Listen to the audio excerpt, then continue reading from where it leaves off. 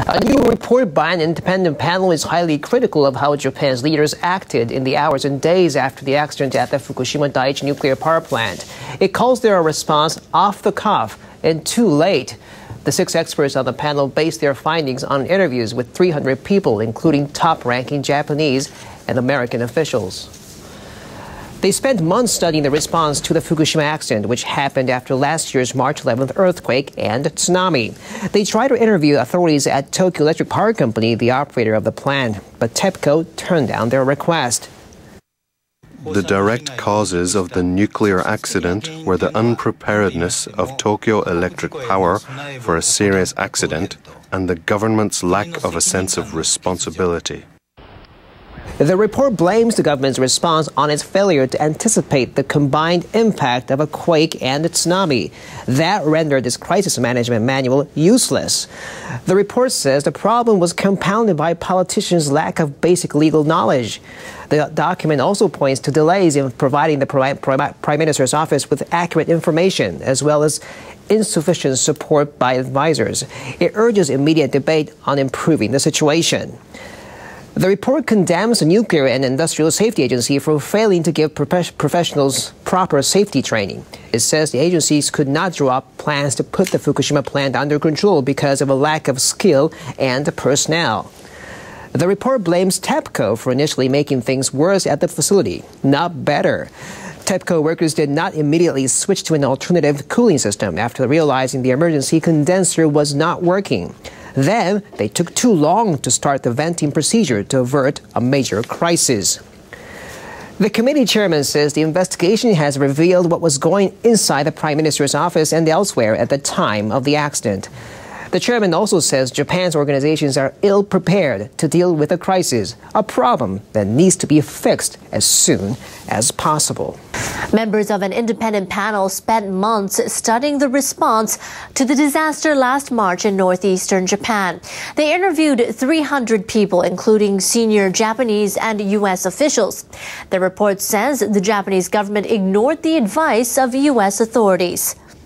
Panel members say the U.S. Nuclear Regulatory Commission established guidelines after 9 11 for restoring reactors disabled by a terrorist attack. They say the U.S. Commission explained the guidelines to Japan's Nuclear and Industrial Safety Agency on at least two occasions. And the Commission asked Japanese officials to improve the anti terrorism measures at their nuclear facilities. But the independent panel says the agency did not adopt the U.S. recommendations. If the advice had been taken in, there would have been less damage to the nuclear plant. That shows the stubborn nature of Japan's nuclear industry. The government panel has opposed, proposed setting up two separate facilities to help local communities respond to future nuclear crises. This comes after an off-site emergency response center failed to function properly during the Fukushima meltdown. Rising levels of radiation and impact of the earthquake and tsunami prevented local officials from gathering at the center about five kilometers away from the Fukushima plant. A working panel of the Nuclear Safety Commission submitted a list of recommendations on Tuesday. It proposes reinforcing the emergency response system by creating two separate facilities. One would serve as a nerve center to give local residents information and evacuation instructions. It would be set up in the prefectural office building sufficiently away from the plant to avoid the risk of radiation. The second center would serve as a front base to monitor radiation levels and conduct evacuations. The government will set new national guidelines following the panel's final recommendations due out early March. People in Japan have been reading through a damning report on how officials mishandled the accident at the Fukushima Daiichi nuclear power plant. We gave you details earlier this week on an independent panel's findings.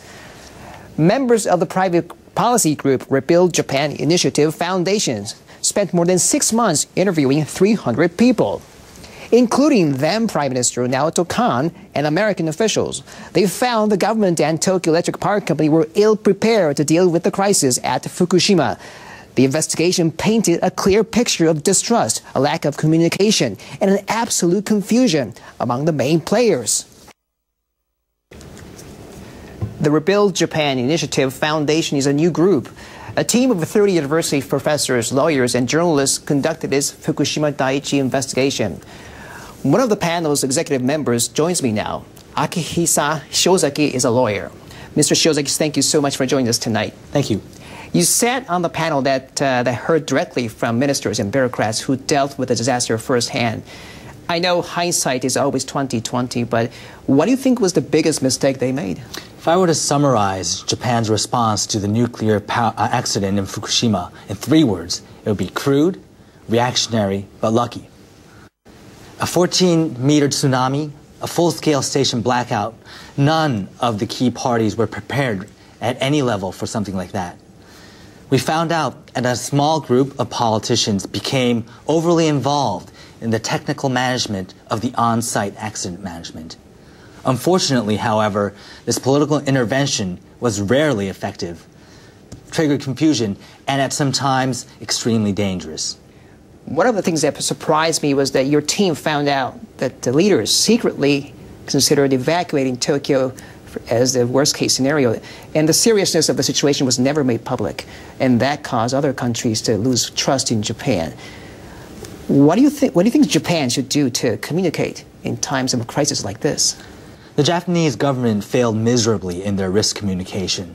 The worst case scenario that you just mentioned was commissioned, was never disclosed, and was completely deleted from all government records. The government was late to disclose SPEEDI forecast of radiation. They only provided vague explanation on the risk of low-level radiation exposure. The Prime Minister's uh, government ministry lacked the fundamental capacity to make English announcements to the world. This constant pattern of reluctance to disclose crisis information resembles a pattern of elite panic syndrome, which is a pattern where government elites become afraid of disclosing crisis information out of fear that that disclosure itself might trigger a panic. Your group panel is a private group. Did you have, in that respect, did you have hard time conducting your investigation? When we talked with these interviewees, many of them told us that they were providing their story not because out of an authority or a legal obligation to do so, but because of a sense of responsibility to society and the global community. They also emphasized that they wanted someone independent, truly independent, to conduct this investigation. Some people in Japan want to change the government's energy policy, but the business community uh, says they cannot do without nuclear power. Mr. Shiozaki, what challenges do you think the government and the public need to overcome to push this debate forward? I think the first question now we need to do, we need to ask ourselves is now that we don't have the myth anymore, can we start an honest dialogue on the risk of nuclear power? Can we talk about the worst case scenarios that underlie the benefits that we receive from nuclear power? Starting that conversation is the first step for us to make any decision or discussion on whether or not to continue the use of nuclear energy in the future. All right, uh, Akihisa Shiozaki was, is, was one of the members of uh, the investigative panel. Thank you so much for being with us tonight, and good luck with your mission. Thank you very much.